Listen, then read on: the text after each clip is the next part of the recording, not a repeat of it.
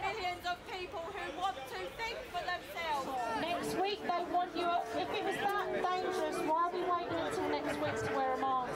This has come from Matt Hancock. Who is Matt Hancock? Where is Matt Hancock? This killer virus is the flu. Yes, people do die, and this is the issue that we've got. People die every year. This is nothing new. This is nothing. They want to take